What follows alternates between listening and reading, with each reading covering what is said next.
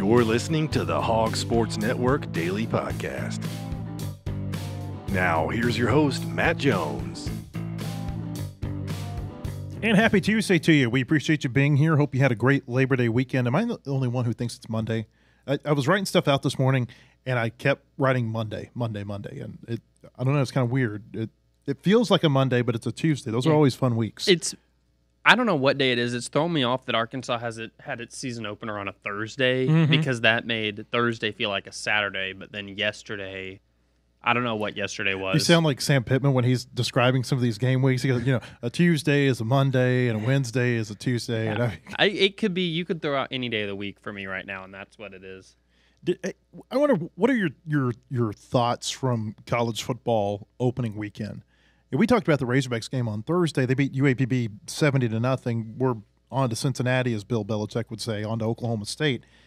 But like the other thoughts from opening weekend, I don't know about you, Ethan, but the perception of a lot of different teams has changed for me, and some of that might be a little bit over overreaction and. Yeah, I heard somebody say one time, you don't overreact to week one games; you observe them, uh, and I think that's a, a good you know piece of advice. But I think LSU looks beatable. I think Texas A&M looks beatable. Obviously, they lost over the weekend to good teams, Southern Cal and Notre Dame, but they're going to play good teams in the SEC too. And I think a lot of times what we do is that we hype up these teams in our mind during the summer and say, oh, just because they have a number attached to the side of their name, LSU was number 13, Texas A&M was number 20, then that obviously means that they're the better team. That's not necessarily the case. I think the transfer portal, and I mentioned this the other day a little bit, it has changed things to, to such an extent that you don't know what kind of team you're going to have. Look at Florida State. They're the number 10 team in the preseason. They look like the number 10 team to you? No. If you're if you were able to watch them, if you weren't a DirecTV uh, subscriber, uh, you, they did not look very good against Boston College last night. And it feels like everybody's a Florida State uh, uh, a Florida State expert right now because they played in two exclusive broadcast windows. They played that game in Ireland when it was the only game on TV, and then they played the game on Labor Day. And so, like, not only have they not played well, but they have not, they've laid it out there for the entire college football world to see that they that they are not a very good team. But just because a team is ranked doesn't mean they're very good. Arkansas was a top 10 team in 2012, and look how that season turned out. I feel different about Arkansas' schedule right now than maybe I did two weeks ago after, you know, the proof is there. Because, again, just because you're ranked doesn't mean you're an elite team. Georgia is. Uh, Texas, they look like they probably are. They, they both look great over the weekend. Uh, but uh, I just I, I feel different about this season after a week, and maybe I'll feel different next week after they play Oklahoma State. But I feel different right now. Yeah, I think you're right on how you know it's only been one week, but it already already kind of changes your the, you know perception of your schedule for a lot of teams. For instance, Missouri, all we've talked about with them, I think leading into the season was how easy that schedule is and how it's designed to make the playoff. But now you look at weeks three and four, and you're you've got Boston College and Vanderbilt, which all of a sudden, I mean, those teams haven't really proven too much, but they've at least proven that they're probably better than they were a year ago. They've got two of the better wins of the season, I would think, at this point, just because a lot of teams hadn't played anybody, right? yeah. Uh, we'll talk about that. I didn't mean to interrupt. But you. Oh ahead. no, you're good. And I think that for Arkansas, you know, you're still looking at that schedule, and you're it's it's still a monster. But you you saw what Texas A&M has, and of course they'll be better by the time Arkansas plays them, probably. But you know that it's not like you're going up against an offensive juggernaut, probably. and then LSU, you probably feel a little bit better about that too. I think it just kind of changes maybe a little bit of um, perception, at least as far as makes it not look as daunting, at least for the Razorbacks. I just don't think we know a lot about a lot of teams just yet. Florida State, I think we know a lot about them because they played two power conference teams. But you think about what the SEC did in, in week one. I mean, blowout after blowout after blowout. What a weak slate of opening weekend games. There were a few good ones in there. I mean, LSU played USC. Who knew Vanderbilt, Virginia Tech was going to be a good game? Yeah. Uh, Georgia and Clemson. I mean, Georgia kind of did what Georgia does, which is they just bludgeon you and then they just suck the life out of you. Uh, you know, that's that's kind of what they did to them. Uh, what what else did we have on opening weekend? We had had A and M Notre Dame. Old Dominion almost beating Well, South that Carolina. wasn't supposed to be a good one. well, we'll it talk ended about up that being a good one. We'll, we'll talk about that. You got Notre Dame and um, A and M. That was a good game. Came down to the very end. And you had Miami, Florida, and, and Florida looks like they're they're toast. Their Yeah. their coaching staff. I don't know that they're going to make it uh, through this season, especially not after Billy Napier made some comments about uh, Central Florida rural basements or something on Monday. Yeah. I can't remember exactly what he said. I know that it's uh, when you start when you start getting personal with the fans, that to me is always kind of a an alarming sign that the uh, that the end may be near. But look at some of these matchups. The F- FCS versus FCS matchups on week one ended with an average final score of 66 to 2. That's not a typo. 66 to 2. I mean, just c- consider this. Tennessee played Chattanooga on Saturday, and Tennessee won that game 69 to 3, Ethan, and it was the third closest game of the weekend between an SEC team and an FCS team. Uh, other scores: Arkansas beat UAPB obviously 70 to nothing. Uh, that game was shortened by 10 minutes. None of these others were shortened like that one. Otherwise, Arkansas may have had the biggest win. Ole Miss beat Furman 76 to nothing. I kept watching that score, you know, update across the bottom of whatever game I was watching. And I kept thinking, man, they're going to score 80, 90 points. And I guess they, they took it easy in the fourth quarter. Uh, Auburn beat Alabama A&M 73 to 3. Mississippi State beat Eastern Kentucky 56 to 7 and Missouri beat Murray State 51 to nothing. I don't know what any of these teams know about their teams other than the fact that they can beat the snot out of somebody who's not anywhere near their level. Yeah, and that's that's how I, I think, especially with these uh, SEC versus the FCS games in the week in week one, you just kind of look at the score and you, it's more or less if they don't do that, you learn something about them. I think we said this entering the UAPB game. We said, you know, Arkansas just needs to have a dominant victory, and like a win is leaving no glaring issues as a win. Two two thoughts about that. You know, a lot of times you'll have SEC FCS games that actually end up being somewhat competitive. I mean, Arkansas had the Missouri State game that we've mentioned a number of times uh, two years ago. There weren't any of those. I mean, I mean, Mhm. it, it was none of these games were even close. They were all over by halftime. I think four of these games, the score was somewhere between forty-five nothing and fifty-two to nothing at halftime. So uh, that's number one. Number two, I don't know that I remember this many FCS games to start the season, and so you know, you give an SEC team however many weeks to prepare for a team that's that's nowhere near its caliber. You know, maybe this is the result that you get. It may be, uh, you know, I don't know. I, I've said my piece about FCS games. I won't go there again. But you know, it wasn't just those games. Western Kentucky, who I think has a, a decent program, Mhm. they got blown out in Tuscaloosa. They had a couple votes. to nothing. You know, Liberty was the uh, New Year's Six Mm-hmm. representative last year. They had a couple votes to dethrone Liberty in Conference USA. Colorado State. They lose 52 to nothing in Austin against Texas. Uh, it was just a really weird week, I think, in SEC football. You mentioned South Carolina's close call. Yeah. That team, I, I watched, uh, I don't know, a little bit of that game. It doesn't look like they can block very well. And um, uh, Rocket Sanders, he, he he had some, he had a big run in that game. He also had a lot of runs where he was met at the line of scrimmage and, and behind. Uh, I, I wonder about South Carolina. hmm You know, I, I wrote something the other day that every year there is an SEC team that comes out of nowhere, seemingly, and has a big bounce back season. It was Arkansas in 2021. They went from three wins to nine wins. It was LSU the next year. They improved their win total, I think, by four. Last year was Missouri. Who's it going to be this year? Well, I don't think it's Florida, and I don't think it's South Carolina based on week one. You think about the other teams with losing records last year. I don't know that we found out enough about Arkansas, Auburn, or Mississippi State to, to really make an informed opinion on those teams. Uh, and then Vanderbilt, I mean, they, they I guess they had kind of the win of the weekend, other than Georgia over Clemson, uh, beating Virginia Tech at home. They don't have to go as far to have a big turnaround. They only won two games last year, and they're already halfway there. Yeah, I think that those week one games, you're more or less you just want to be in that company of teams that you didn't like. I remember whenever Arkansas in the Chad Morris era opened up with Portland State one year. Oh yeah. You knew after that game how that season was going to go. that And was I fi- another close one, twenty to thirteen. Yeah, and I figure that's probably how South Carolina fans are feeling right now. I mean, they got to play Kentucky this week, and depending on how that game goes, I, you know, you might be starting. You know, how we're saying that Billy Napier's feeling it in Florida. I wouldn't be Mm. surprised if Shane Beamer doesn't start feeling that in South Carolina. That's an interesting point. We want to tell you about wholehogsports.com. You can get all your latest breaking news there. Uh, we've got analysis, features, recruiting updates. Uh, we think it's the most in-depth source for all of your Arkansas sports. You can subscribe today at wholehogsports.com. Uh, do we want to get into this DirecTV thing here real quick? I think we should.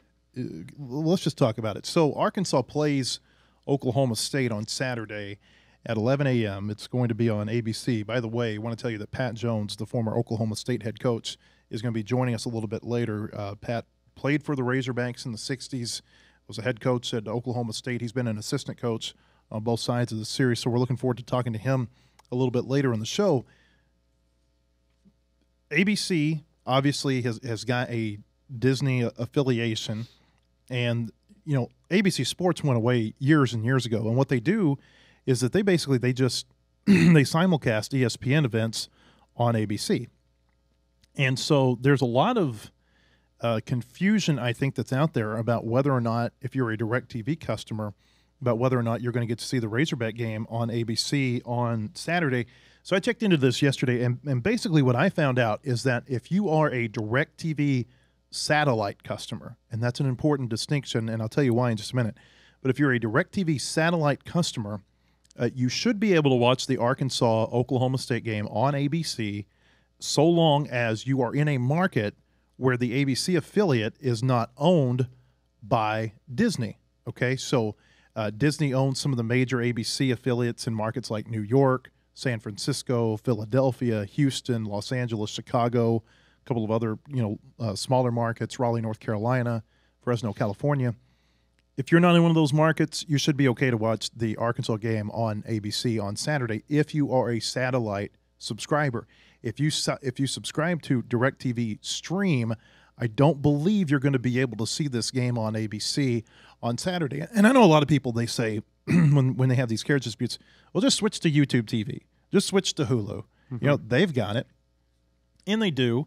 But I also think that sometimes that line of thinking it comes without the understanding that hey, at some point Hulu is going to have a carriage dispute.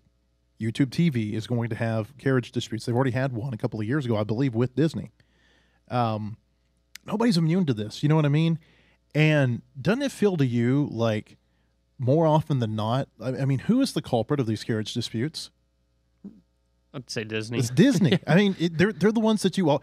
Last year they had a huge carriage dispute with Spectrum, which is the number two cable provider in America, and they were off the air for like twelve days, and they got it figured out like hours before the first Monday night football game of the year.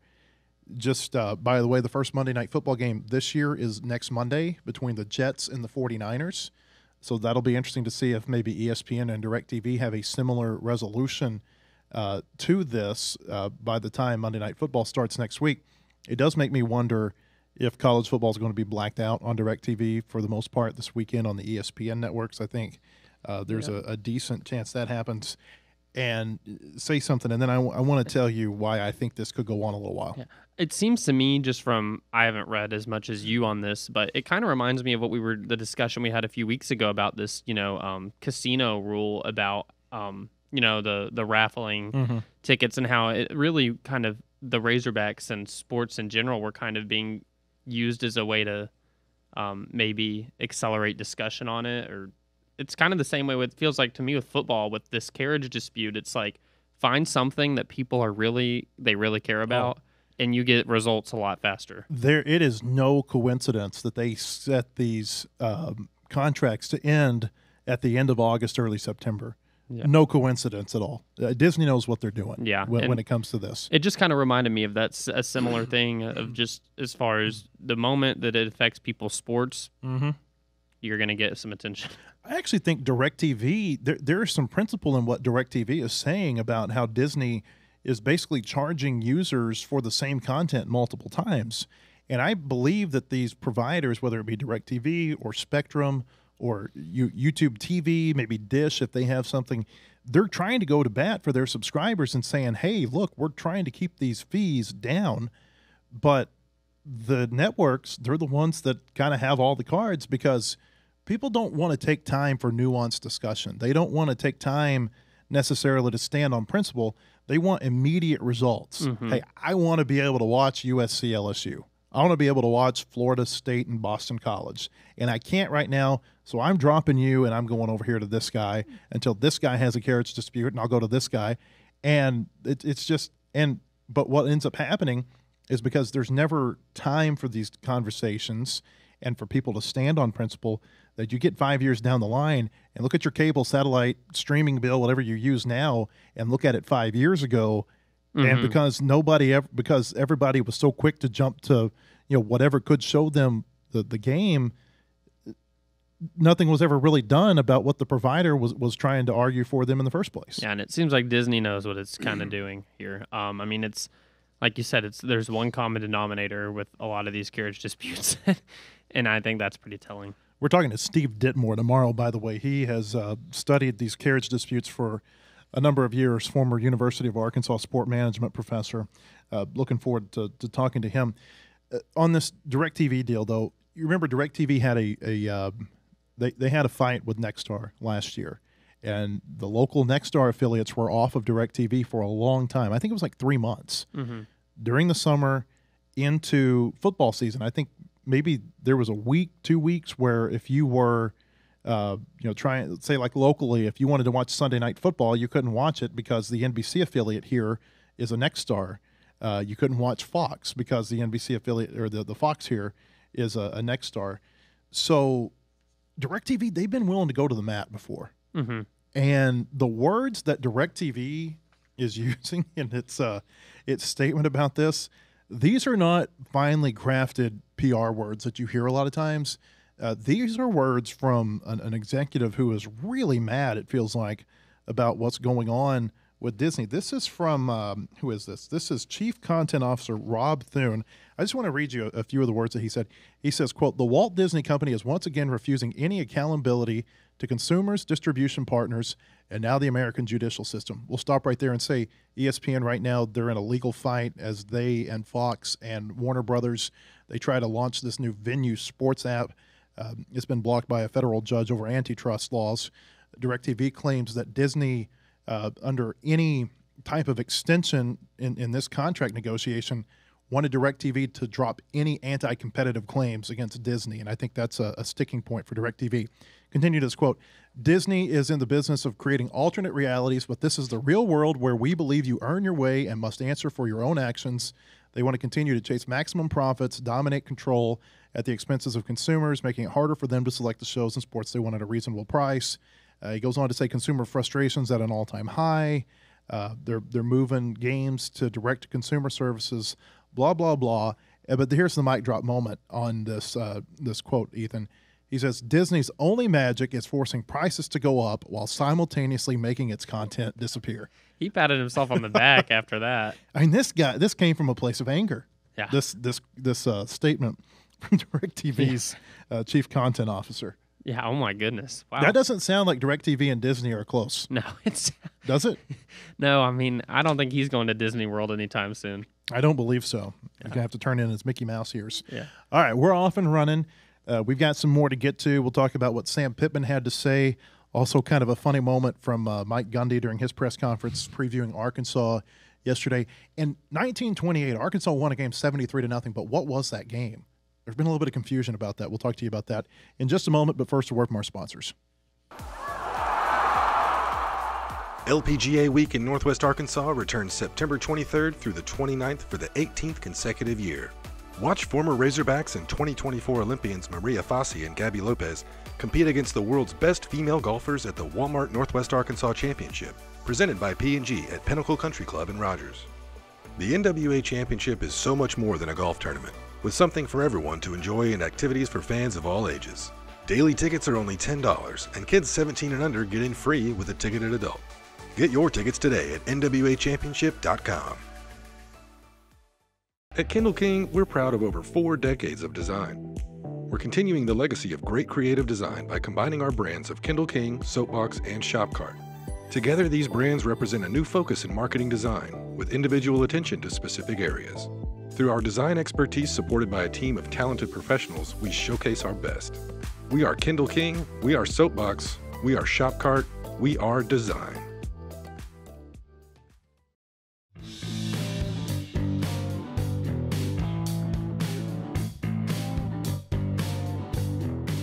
And we're back. Uh, Arkansas coach Sam Pittman previewed Arkansas's game against Oklahoma State on Saturday. As we mentioned, it's an 11 a.m. kickoff on ABC. The Razorbacks are 1 0. The Cowboys are 1 0. Both teams beat FCS teams during week one, but I mean, not the same quality FCS opponents. Arkansas, they could have played their threes and beaten UAPB pretty handily. Oklahoma State played uh, South Dakota State, who won the national championship the last two years at the FCS level. Uh, Sam Pittman spoke, as we said yesterday. I want to play a couple of, of sound bites from that press conference. The first one just talks about the type of physical game that he expects Saturday in Stillwater. Again, I think this game, of more than surprising somebody or a schematics, I think this is going to be a you're going to have to go whip somebody and and uh, uh, physically to win. So I don't think there's going to be a whole lot of mistakes. I just think there's going to be a slobber knocker a little bit. I love the slobber knocker reference from Sam Pittman there. Yeah, no, it was. Uh, I think it's one of those words that you haven't heard in a while. It's like I've mm-hmm. I heard that word growing up with, with football, but it's like Sam Pittman pulled that one out of the you know decade ago pocket. Like if you were if you were to describe a slobber knocker, it's just it's offensive and defensive line just going at it all game. It's what Houston Nutt would call a two chin strap game. yeah, yeah. Got buckle both chin straps. Yeah, I about to say it's the type of game that you expect a lot of running. Arkansas going to Stillwater. You know, the first team from the SEC that's gone over to Boone Pickens Stadium since 2009. Georgia was the last one who went over there.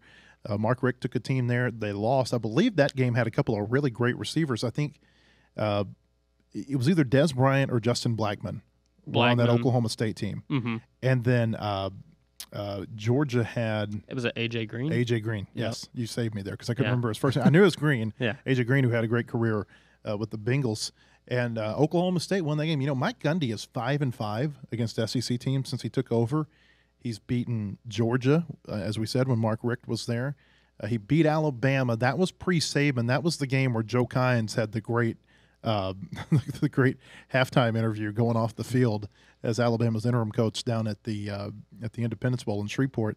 Uh, but they've beaten Missouri. They beat Texas A&M last year in a bowl game. They've beaten Mississippi State.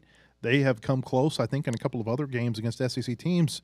Uh, it's it's not an SEC program, and we'll hear Mike Gundy talk about this here in just a minute. You know, they don't have the type of SEC lineman or the type of lineman that you see in the SEC.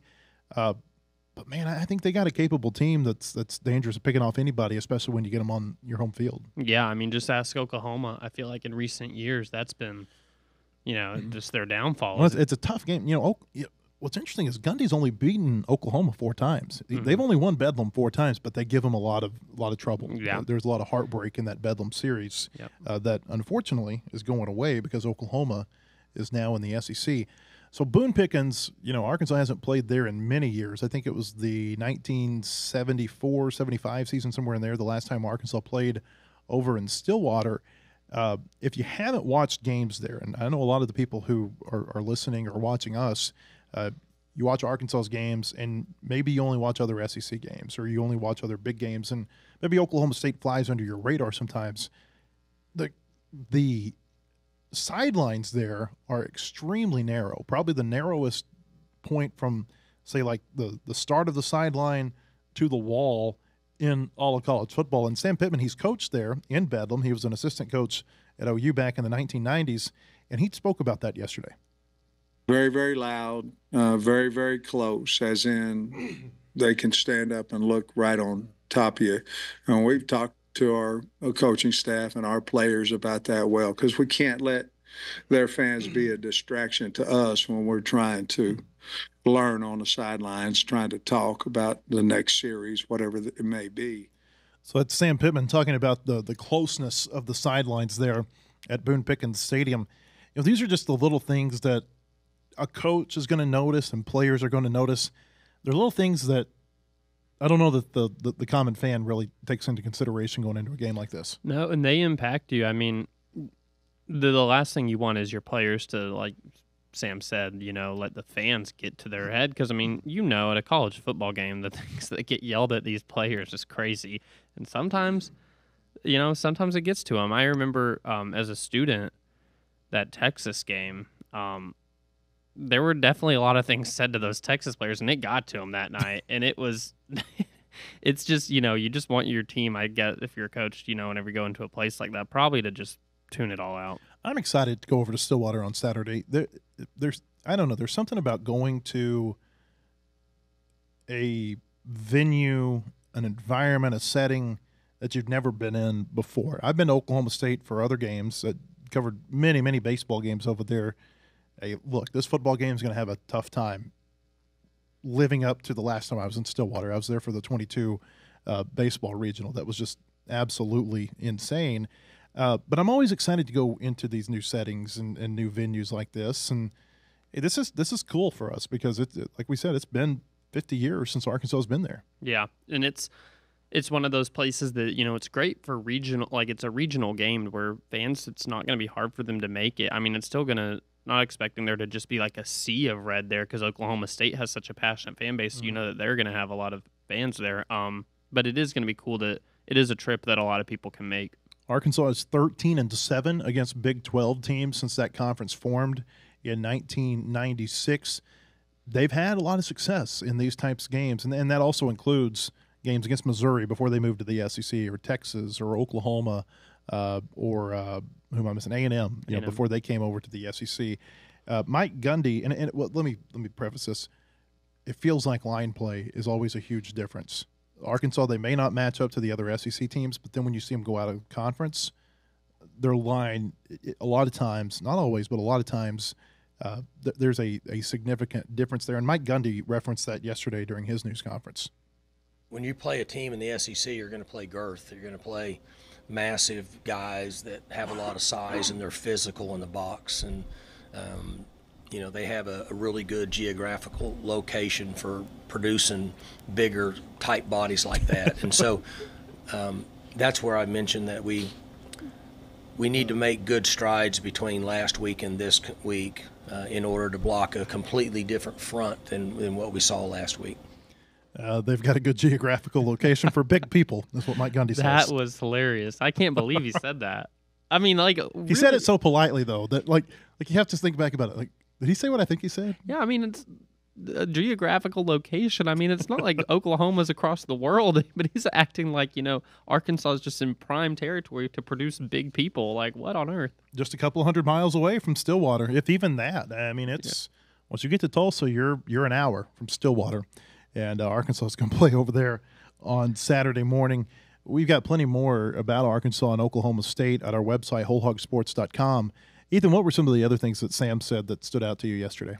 Um, most notable, as far as like, I guess it's probably good to always update on injury. Um, Andrew Armstrong is questionable. Um, again, so if they're without him, that's a that's a blow. He's, you know, when he's healthy, kind of the alpha dog of the receiver room. Um, you know, there Patrick Kutas is doubtful again, so Amarion Harris probably going to see him at um, left guard again, and then uh, Miguel Mitchell is out for the game. No reason given there, but those are kind of the personnel notes that Sam uh, gave yesterday. That's okay. kind of the what stood out to me aside from what all we've already talked about.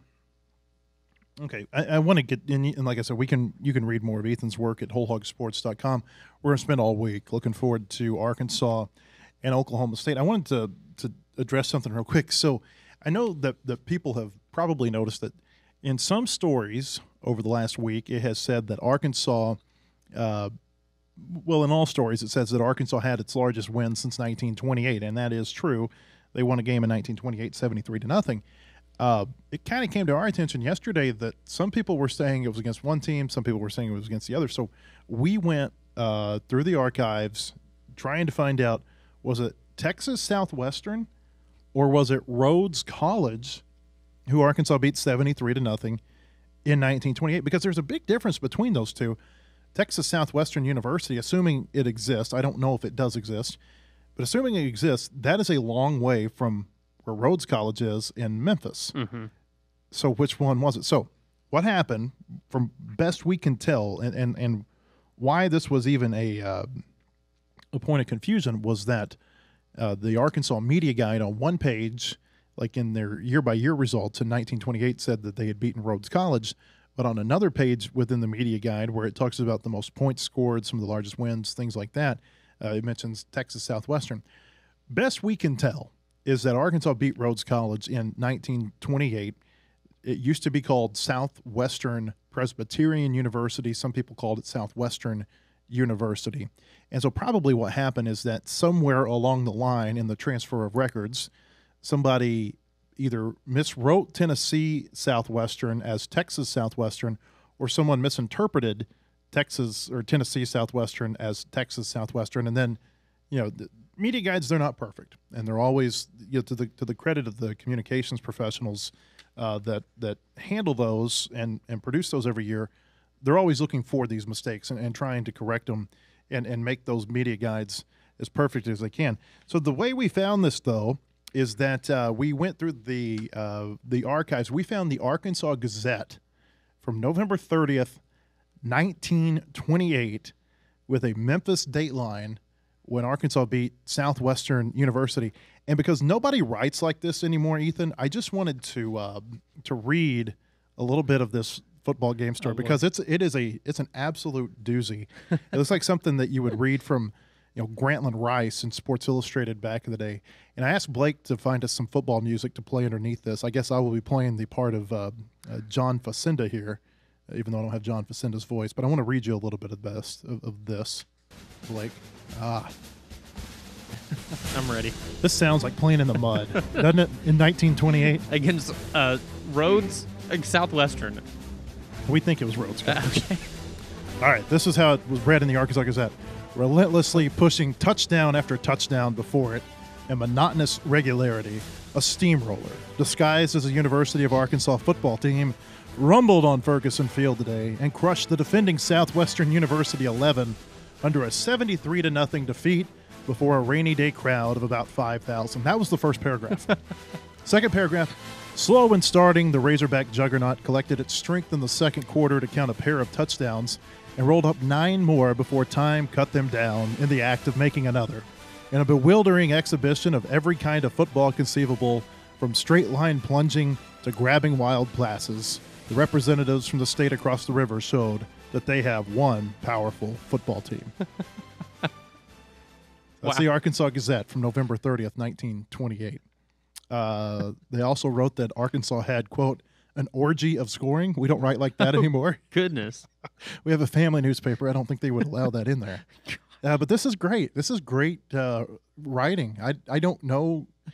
Really, what I took away from this is that they didn't score on every possession like Arkansas did against UAPB. Yeah, no, that's that's hilarious though. I mean, just, I don't know if uh, if Bob Holt has that type of writing in him or something, but Bobby Petrino was not coordinating this team because it says they were trying to score more before time cut them down and making in Yeah. the act of making another. time doesn't cut that man down. No, Arkansas had a couple of last minute touchdowns against UAPB. What was it, nine seconds and 36 seconds? Yeah. Are they upset in Pine Bluff about Arkansas scoring the last touchdown? Perhaps I don't know. Uh, it's a third. It's Arkansas's third stringers. Let them not. Let them get some run. Look, man, they they they took 10 minutes off the game. They could have beat you by 100. Yeah, don't get let's, mad. let's not get mad about losing by 70 when you could have lost by 90. Yeah, I mean that the third Arkansas's third team already was losing five minutes of each quarter to get to play. So let them try and put together a touchdown drive. Ethan, thank you for being here.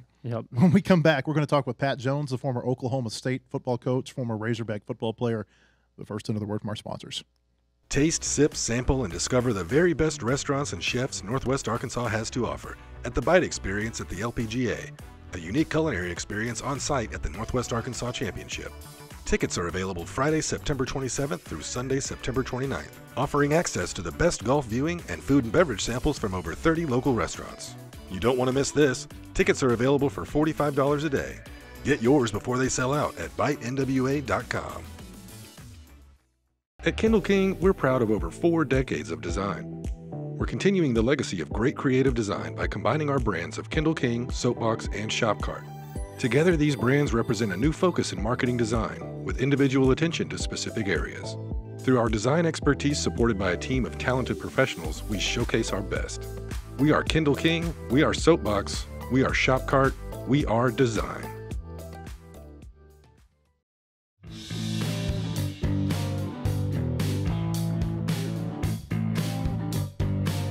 And welcome back. I want to tell you about Bentonville Glass, serving its community since 1971, committed, professional, and versatile. If you're looking for a quality leader in Northwest Arkansas or looking for skilled craftsmanship, look no further than Bentonville Glass for all your glass market needs.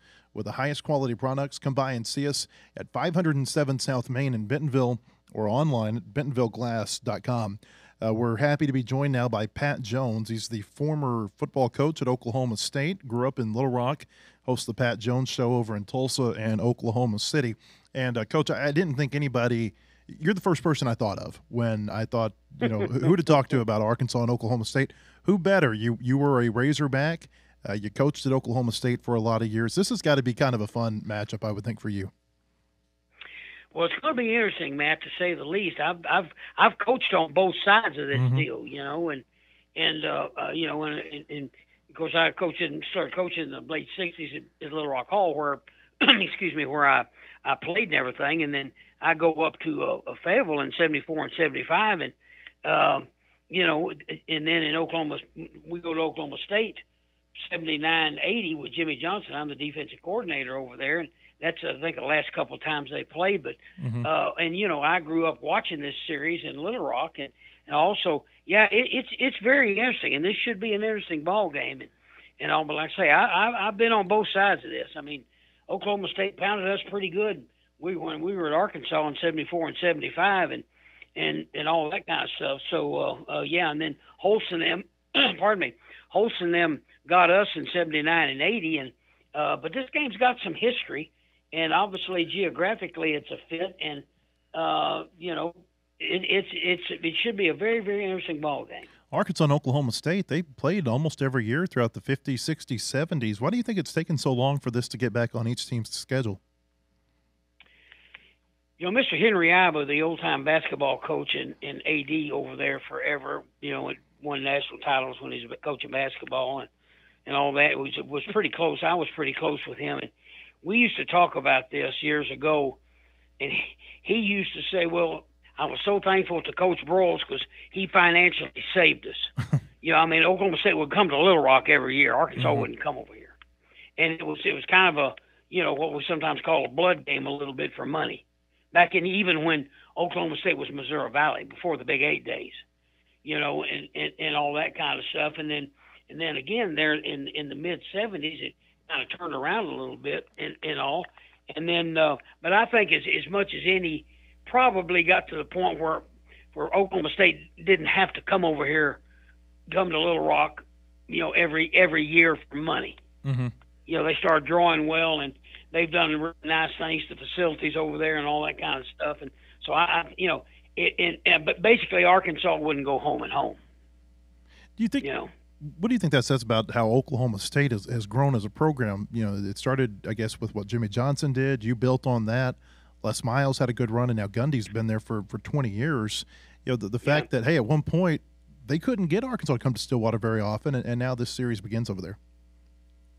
Well, and Jim Stanley, Oklahoma State had had their moments before. See, Jim Stanley was over there, you know, again in in 73 mm-hmm. oklahoma state beats arkansas 38 to 6 and 74 mm-hmm. you know it was 26 to 7 and 75 it was it was 20 to 13 74 when, when we were at arkansas uh, you know we beat southern cal in the opening ball game we thought we had all the answers and oklahoma state came over and drilled us 26 to 7 mm-hmm. 75 was the year we won the southwest conference beat georgia in the cotton bowl and oklahoma state beat us that was the, i think the last time arkansas has been to uh, Stillwater, and Oklahoma State wins the ball game twenty to thirteen. But yeah, really from from there on in, and then you know when when it got away, and then like I say, we got over there with Jimmy in '79, and then we hit the run with Thomas and Sanders and O'Neal and those guys and all that kind of stuff, and and and Oklahoma, and then you know Mike Gundy who you know would, would play quarterback for us, and then we gave him his first job and elevated him to coordinator and all this, and so Mike's uh, you know probably the most prominent name in Oklahoma State football history, but uh, uh, you know, and they've gotten where they they they've been smart and schedule smart. The the evolution of the Big Eight, Big Twelve, obviously factored in.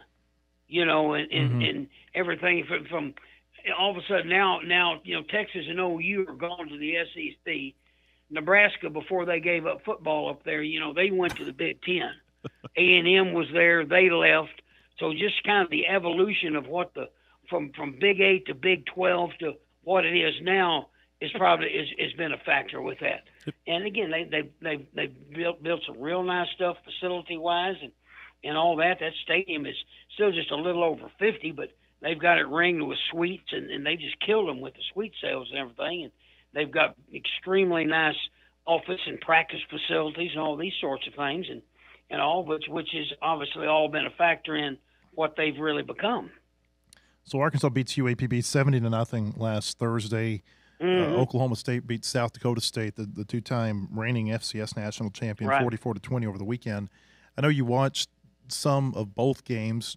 Based on what you Mhm. saw, what do you think of the matchup Saturday? I think it's going to be. Uh, I heard Mike Gundy do a presser here earlier, uh, and I think Mike's got it pegged to you know a, a bit. I think it'll be Oklahoma State speed and quickness against Arkansas's got a little bit more brute force, probably Hmm. a little bit bigger. Oklahoma State's quicker and faster. Um, you know, it will be interesting. I was curious to watch, and and and obviously I used to know those guys at UAPB, and that you know they're not very good, bless their heart, right now. But you know the guy I was really interested in see Taylen Green Mm-hmm. you know, the quarterback from Boise. He's he's an impressive young man. I mean, even though obviously they had UAPB outmanned, um, I, I was curious to see being a tall guy whether he was just a long strider or how much foot quickness he had and how much arm talent he had, and his body language, which I thought was all really really good. Petrino will certainly do a great job with him, but this kid looks like to me that if he's right, he could take over a game. You know, now what he does against the Oklahoma State defense, I don't know, but that was to me the most impressive thing about about watching Arkansas play was was was Taylen, Taylen Green. Um, you know, the, the Jackson, the back looks like a good player. Hard to really tell on the offensive line. Is you know they're big and strong. Mm-hmm. Uh, defensively, you know, you know, uh, it's got some guys that can rush the passer and and all this. Um, but again, Oklahoma State's got Ollie Gordon and and um, Bowman, the quarterback's been around forever. He's about 25 years old, I think, and really played well. And the thing about Oklahoma State that it that has gotten somewhat overlooked that, that that is really impressive and showed up the other day is their receiver corps. You know, they've got three or four receivers that can get it pretty good.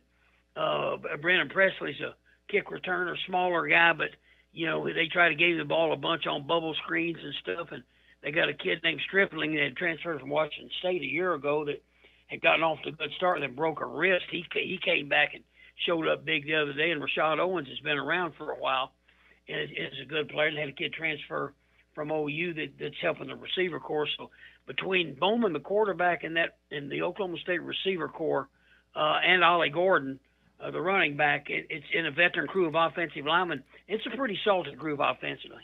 You've seen your fair share of, of great running backs over there. Uh, Gordon won the, Mhm. the Doak Walker last year. How good Right. is he? Matt, he's not Darren McFadden. Now Okay. he's not, and I'm not even gonna get into Thomas and Sanders because you got a bust in Canton. You know, I mean that that speaks for itself. But but um, he was, and I, and I had a visit. Uh, I, I, Clay Henry and I were visiting the other day on something, and Mhm. and and I made that remark, and Clay said, "Well, does he?" he Remind him of, of, of Reggie Cobb kind of a bit. That's probably a fairly good analogy. You know, um, he's a he's a little bit taller guy. He's put on he's put on about five pounds. He looks a little a little thicker, not not too heavy because he's he's a pretty sleek guy and he's about six one or so. Um, but he's he's again he's not McFadden. He's not. He'll probably be he'll probably be about a high third round draft choice. You know, and he's a little bit taller guy like McFadden, but you know McFadden was a fourth player pick, so I I think that compared now this kid if you turn him loose, he'll turn the lights out on you. Gordon will. Mhm. And now he's, he doesn't he doesn't have quite as much jump around as some, although he'll break some tackles. You know, you got to tackle the guy. He's got very good hands. Had about four catches the other day. He'll play for a long time in the NFL if he stays healthy and be a good player. Now, I'm not going to sit here and say I think he's going to have a bust in Canton, but he's a good player. Oklahoma State's got the oldest offensive line in college football. I think their average age is somewhere around 22, 23 years old, but how good are they? Mm-hmm. You know, they're not. Um, I've used the analogy, you know, Russell Okung, the kid they had over there several years ago, was first round draft choice. Mm-hmm. And these guys are not, they're not that gifted, but they're guys who have played. They're smart, they're tough, they're not little guys. You know, so it's, it's, the, and they, they don't, they don't tend to throw no hitters. Now Mike was on him. Gundy was on him the other day about, about you know felt like they could have blocked uh, South Dakota State a little bit better. But you know they're they're good pass protectors. Uh, they don't again they tend not to throw no hitters. They're they're going to get a hat on a hat, and they're they're going to play hard and compete, and they're smart, and they played forever. Mm-hmm. You know things don't things don't get to them as far as the dynamics of the game. So I'm not going to sit here and say they're they're all a bunch of high round draft choices, but they're they're better than just solid college offensive linemen. Talking with Pat Jones, former Oklahoma State head coach from 1984 to 94, won 62 games in Stillwater, three 10 win seasons.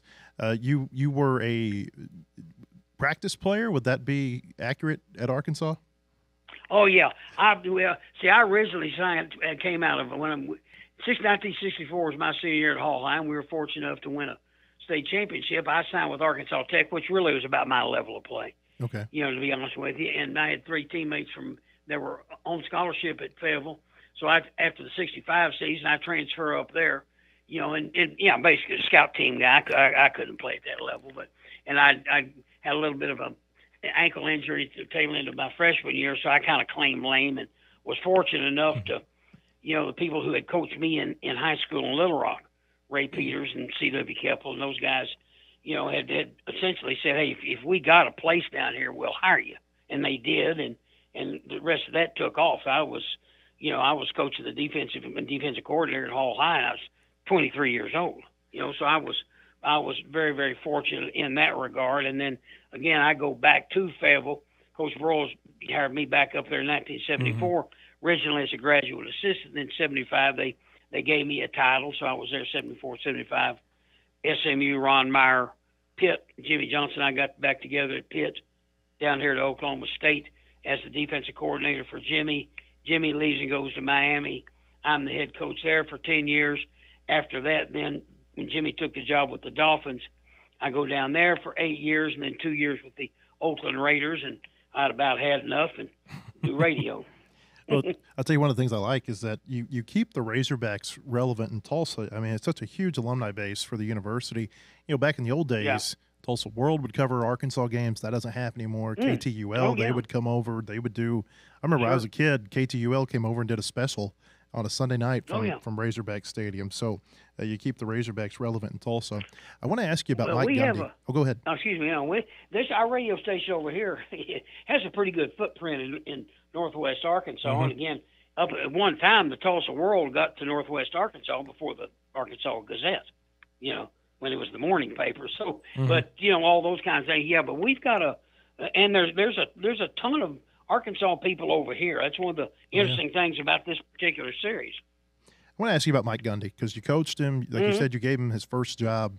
Uh, mm-hmm. what, what's made him so successful? Like, how's how's he lasted for twenty years? Well, you know, Mike is he comes out of a, of, of, a, of a great high school program, Midwest City. That's down there by Tinker Air Force Base, mm-hmm. really Oklahoma City. But uh, uh, you know, which which a guy named Dick Evans coached him, and and, and Mike had been well coached. Ironically, the year Mike came out, Matt, when he and, and they won the state title when his senior year. See, that was the same year him, Quinn Grovey, and Charles Thompson from Lawton all came out at the same time. Mm. See, he was in the same class that Grovey was in. Mm-hmm. Now, in Grovey, I thought one time we might get Grovey, to be honest about it. Now, he did the right thing in going over there to Arkansas because he's really an option quarterback. You know, uh, uh, Charles Thompson went to start out at OU and then had some issues. We signed Mike, you know, and, and was a high profile high signee for us because normally those kids down there would go to OU. We get Mike and then start him after about the third game of his freshman year, and then Bamo he he engineers the the second and third ten win seasons that Oklahoma State ever had back over there in 80, 87 and 88. Mhm. Of course, when you're, you know, when you got Thurman Thomas and Barry Sanders lined up behind you, you know, you, and all, but Mike is still to this day, because there is no more Big Eight, obviously, he's the all time leading passer in the history of the Big Eight, which will always stand because there's no more Big Eight. But Mhm. but uh, smart, very. His, I think his first however many attempts as a quarterback, you know, set an NCAA record for not throwing interceptions. Because I think we told him we'd kill him if he did, but you know he, uh, he didn't do. I'm being facetious about that, but Mike had very good judgment, had very good people skills, Matt. That's one thing I think it's served him extremely well going forward here. We noticed it when he was a true freshman. Again, we had Barry Sanders and Thurman Thomas and Hart Lee Dykes and you know a, a bunch of guys that were really, really you know big time players. And Mike fit in well and and you know related to them and body language was good. He's a smart guy. He studied the game.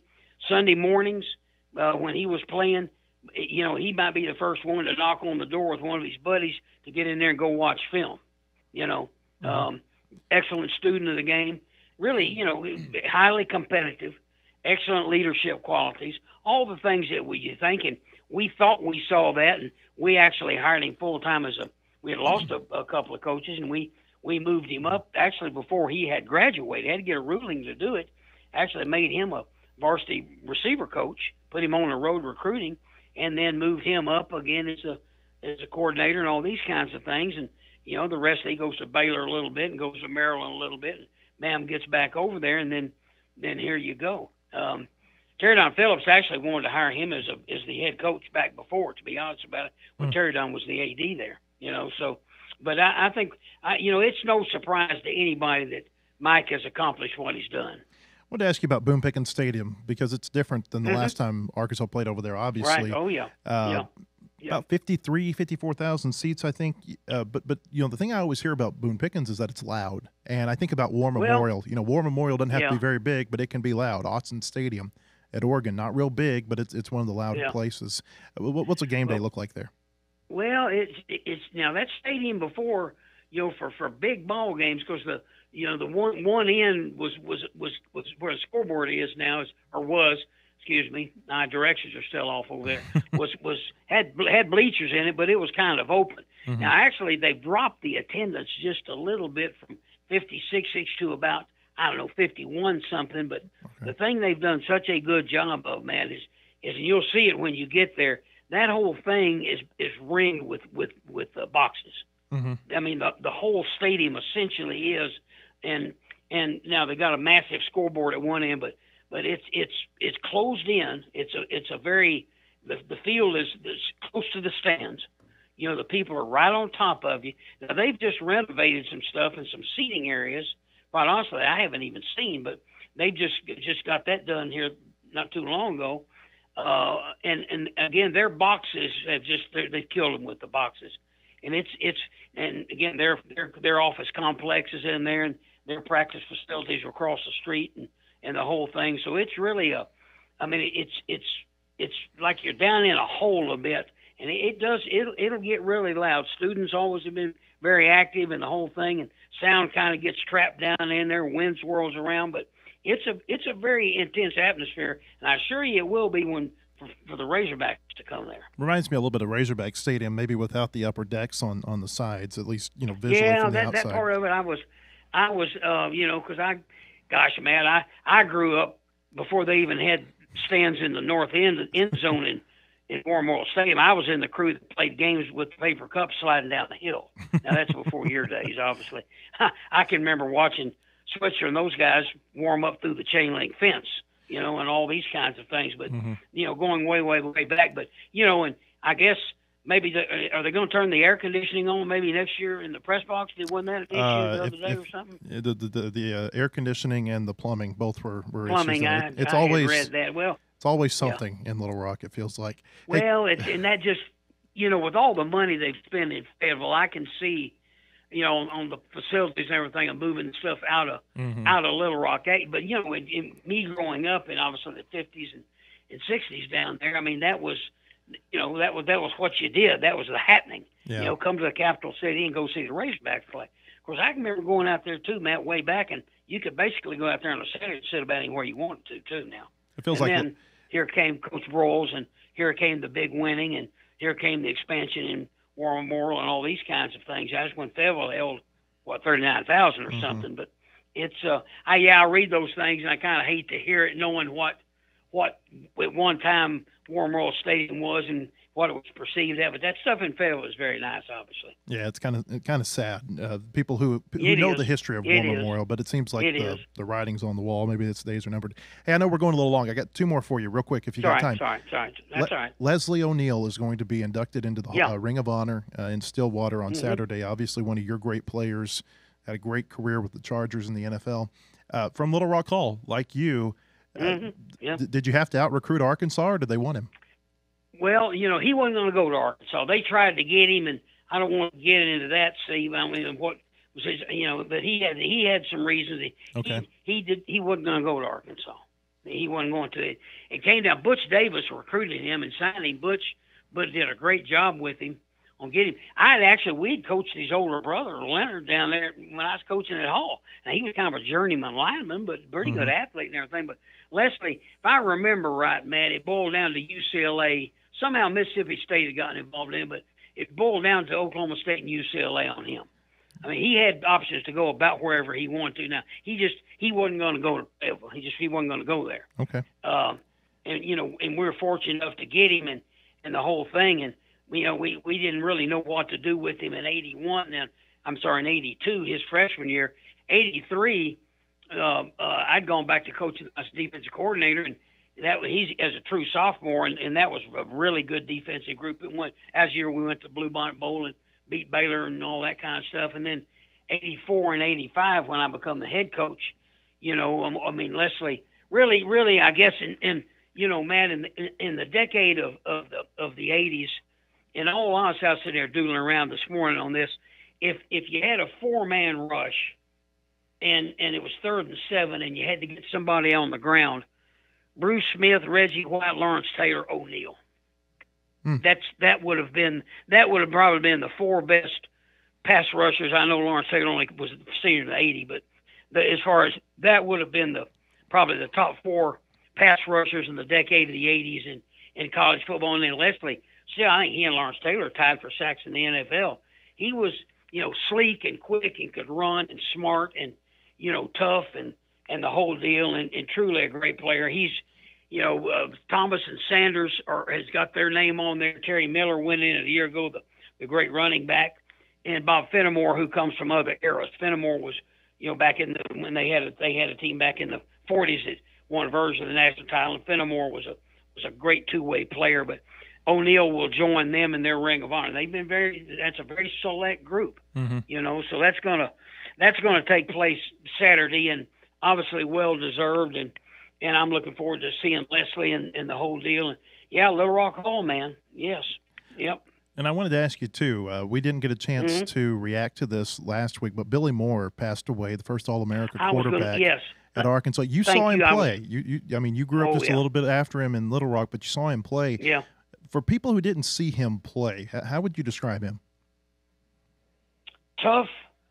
Uh, I was going to thank you for reminding me. I'd written that down to give condolences to, to the family. And of course, Henry Moore, his brother, played before Billy. Mhm. Henry was a good player, Mhm. but I can remember them playing for, for Coach Matthews and the and the Little Rock Tigers and, and all that. You know, when I was growing up before they built Hall, you know, you and, they Little Rock, Little Rock High at the time was winning a zillion games and getting Coach Matthews stuff. And Billy would have been, Billy would have been probably a oh, let me see who you might compare him to. Uh, uh, he he's kind of a Lamar Jackson. Mm. Think think about Lamar Jackson in the NFL, a scaled down version of Lamar Jackson, run pass guy. Mhm. I mean, it was sprint pass and play action. I mean, he led him in rushing. Tough guy, tough. You know, just uh, uh um, I mean, he he was a. I mean, he's what still the only All American quarterback in the history of University of Arkansas, isn't he? First teamer. I, I believe that might be right. I'm not 100 percent sure. I know he was I, first. I, I, I think he's. I think was the first and I think the last first teamer quarterback at the University of Arkansas. Again, you know, bounced around and played in Canada a little bit and the whole deal. But I, I you know, I, I think of a, a scaled down version of Lamar Jackson is kind of what what Billy Moore was, but heck of a guy. And, and I, well, in fact, I can I, I texted Jimmy Johnson. Jimmy said to send his condolences to the Moore family because Jimmy Jimmy C was a sophomore when Billy was a senior Mm-hmm. playing up there, and and you know they knew each other pretty well. And I I texted Jimmy the other day when I got word that Billy passed away. I knew he wasn't in very good health, and Mm-hmm. used to see him out there at Pleasant Valley quite a bit. But uh, from a standpoint, yeah, heck of a player, and and and meant an awful lot to the, the tradition of football at the University of Arkansas. I mean, just to speak to his running ability, what, what you were talking about when Broderick Green had that 99 yard Yeah. touchdown run about a decade or so ago, it broke Yeah. a record that Billy Moore had held for almost 40 years. He had Oh, a 90 yard touchdown run against Tulsa in his Uh, senior year. he could get it. He could get it pretty good. Now he wasn't quite Michael Vick, but like I say, if you envision what Lamar Jackson looks like running around up there, maybe scale down a little bit of a notch, just, you know, just just a little. Now you got Billy Moore. Coach, we appreciate your time and uh, really appreciate your time and uh, hope you enjoy uh, watching watching these teams play on Saturday afternoon. Matt, thank you. My pleasure. Y'all have a good week. Okay, you too. Appreciate it. Coach Pat Jones, of uh, former coach at Oklahoma State, former Razorback football player. We appreciate him. We appreciate you being with us today on our podcast. Hope you come to our website, wholehogsports.com, throughout the week to see all of our coverage leading up to the Razorbacks and the Cowboys on Saturday. We'll be back with another podcast tomorrow. We'll see you then.